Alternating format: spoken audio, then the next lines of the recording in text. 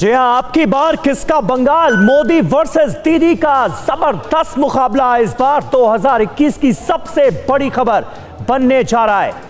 और बंगाल के चुनावों से जुड़ी हर अपडेट हम आपको देंगे लेकिन इस वक्त बीजेपी की प्रेस कॉन्फ्रेंस शुरू हो गई है। केंद्रीय मंत्री प्रकाश जावड़ेकर इस वक्त सभी पत्रकार मित्रों। प्रेस कॉन्फ्रेंस कर रहे हैं सीधे चलते हैं आपको राजस्थान में- जिला परिषद और पंचायत समिति के चुनाव में भारतीय जनता पार्टी को अप्रत्याशित जीत मिली है। जिला परिषद के इस चुनाव में पूरे राजस्थान के ग्रामीण इलाकों के मुख्यतः किसान ढाई करोड़ वोटर थे और उनका ये फैसला है। जिला परिषद के चुनाव में 636 सीटों पर चुनाव हुआ उसमें तीन सीटें बीजेपी ने जीती है। आउट ऑफ़ 636 353 सीट्स बीजेपी के खाते में है। पंचायत समिति के 4,371 सीटों में 1990 यानी लगभग 2000 सीटें बीजेपी को मिली है।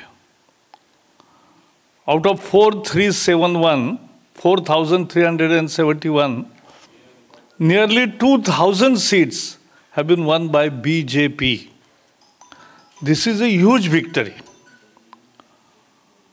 21 जिला परिषदों का चुनाव हुआ, उसमें 14 जिला परिषदों में बीजेपी को बहुमत मिला। 21 में 14 और कांग्रेस को केवल पाँच जिला परिषदों में बहुमत मिला है। ब्लॉक पंचायत में 222 बा- ब्लॉक पंचायत के चुनाव हुए। उसमें तिरानवे अभी तक बहुमत पूरा का पूरा बीजेपी को मिला है।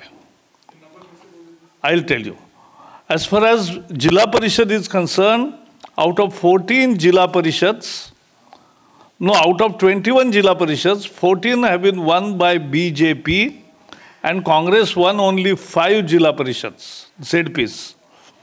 And in Block Panchayat, BJP has won till now 93 Block Panchayats out of 222.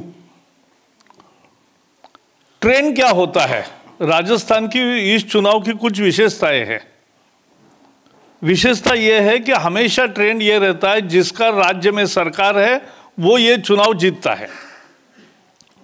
2010 में कांग्रेस की राज्य सरकार थी।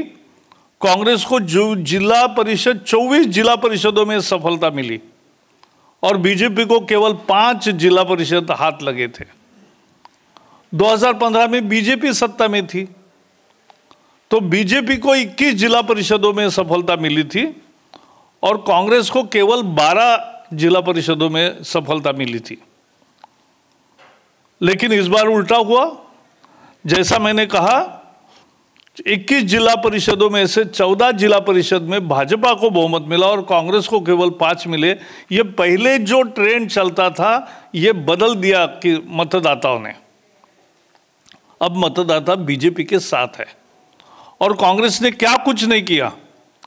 डिलिमिटेशन किया लास्ट मिनट कि ज़्यादा से ज़्यादा जिला परिषद की सीटें हमें मिले, कांग्रेस को मिले, इसके लिए डिलिमिटेशन का एक्सरसाइज किया, पैसे का ज़ोर किया, सब कुछ किया, लेकिन कांग्रेस की करारी हार हुई। इसमें जैसा मैंने कहा, ढाई करोड़ वोटर में किसान, सभी किसान ही ग्रामीण इलाकों के थे तो सारे किसानों ने वोट दिया है। इसका मतलब है कि किसान करोड़ों के संख्या में राजस्थान में कृषि सुधार के पक्ष में है। This result vindicates BJP stand on farm reforms because farmers are approving it all over Telangana में अभी चुनाव हुए, हैदराबाद के चुनाव आपको याद है। 49 सीट्स हमें मिली। जो सत्तारूढ़ दल है टीआरएस को केवल 55 सीटें मिली है, हमें 49 मिली। लेकिन बात महत्व की यह है कि वोट टीआरएस से भी हमें ज़्यादा मिले। बीजेपी को सबसे ज़्यादा वोट मिले। और दुबका का जो चुनाव था उपचुनाव दुबका विधानसभा में वो बहुत क्रांतिकारी और महत्वपूर्ण था क्योंकि चारों ओर मुख्यमंत्री का, खुद का, उनके बेटी का, उनके बेटे का, उनका सबका चुनाव क्षेत्र वही था, दामाद का। तो भी ये बीच वाली सीट जो थी, हमने निकाली। और हैदराबाद का वोट भी वही दर्शाता है कि तेलंगाना में भी बीजेपी को जनता पसंद करने लगी है बहुत तेज़ी से। अभी अरुणाचल के नतीजे आ रहे हैं। अरुणाचल में बीजेपी को भारी सफलता मिली है। 240 झेडपी के सीट में छियानवे सीट अनअपोज आ गए हैं। बाकी का वोटिंग होगा अभी। और ग्राम पंचायत में आठ हज़ार दो सौ इक्यानवे, eight thousand two hundred and ninety one seats में में से five thousand four hundred and ten seats unopposed BJP के सामने कोई चुनाव नहीं लड़ा और लोगों की पसंद से एकमात्र कैंडिडेट रहा, इसलिए अनपोज चुनाव होगा ये अरुणाचल का ट्रेंड है। और बाकी जो वोटिंग होगा, उसमें भी भारी सफलता मिलेगी, यह हमें पूरा विश्वास है। राजस्थान के चुनाव की और दो विशेषता बताना चाहिए। इस बार मार्जिन बहुत ज़्यादा रहा। हमारे जीत का और उनके हार का अंतर बहुत ज़्यादा था। प्रदेश अध्यक्ष अपने क्षेत्र के, गृह क्षेत्र के दो पंचायत समिति पूरी हार गए। पायलट के उप मुख्यमंत्री पायलट है, उनके टोंक ज़िले में जिला परिषद बीजेपी ने जीती। यू स्टॉप नाइन रोज सुबह सात बजे और शाम सात बजे, सिर्फ़ टीवी नाइन भारतवर्ष पर।